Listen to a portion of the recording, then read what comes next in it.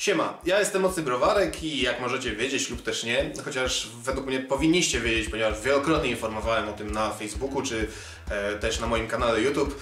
Ostatni weekend, czyli 17-18 listopada spędziłem w Koszalinie na Koszalińskim Retro Games Show 2018, czyli szóstej edycji e, tego też e, retro zjazdu, tak, retro grania. Mm, Szczerze nie będę oceniał tej, nie mam zamiaru oceniać tej imprezy jako, mm, iż jestem w tej chwili już jednym z współorganizatorów tej imprezy, tak. Trzy lata temu zostałem na nią zaproszony, tylko brałem w niej udział.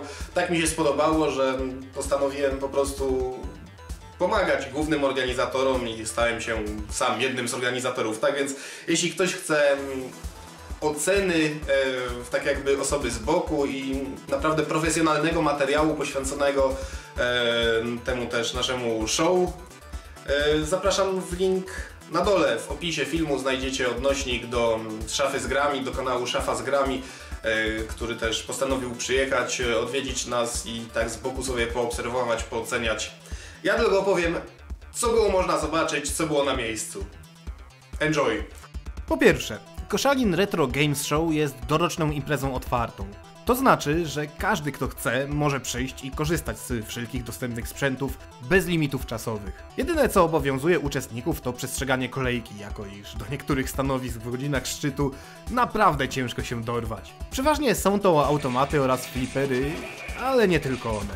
Motyw przewodni imprezy jest inny każdego roku. Tym razem były to nietypowe kontrolery, czyli można było pobawić się przy jednym z dwóch stanowisk z bongosami, Guitar Hero z perkusją, na matach tanecznych i im podobnych oraz przy pistoletach do wszelkich retrokonsol. Poczynając od klasyka jakim jest strzelanie do kaczek na NESie, przez Rambo na Master System, Super Nintendo Scope, kończąc na obowiązkowych Time Crisis czy House of the Dead.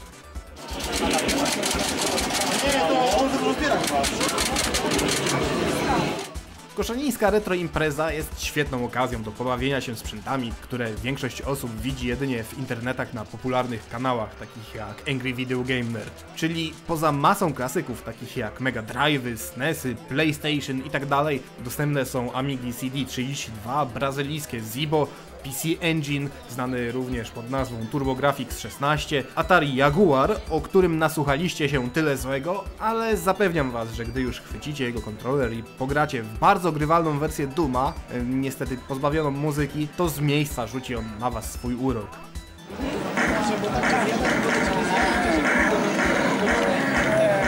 Jako iż rok to sporo czasu, z każdą edycją imprezy pojawiają się na niej nowe sprzęty. Tego roku można było pograć na najdroższej konsoli w historii Neo Geo czy Neo Geo jak to woli.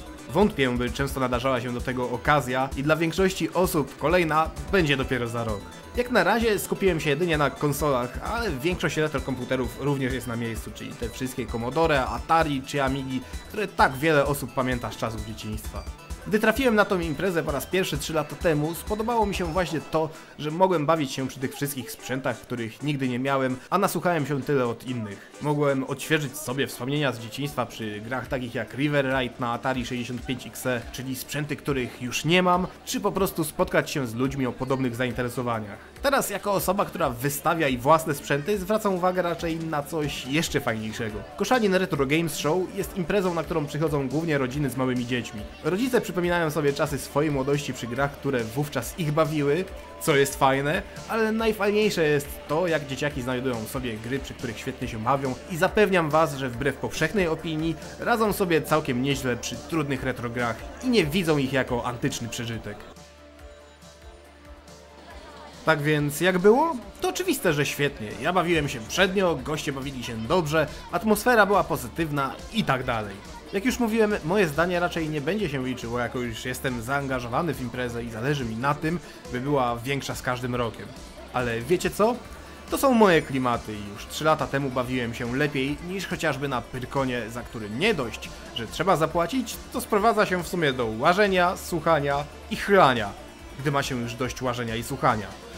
Mniejsza impreza, na której można doświadczyć sprzętu, czyli brać w niej aktywny udział, jest w moich oczach lepszym konceptem i mam nadzieję, że będziecie o niej pamiętać jeszcze za rok oraz weźmiecie w niej udział.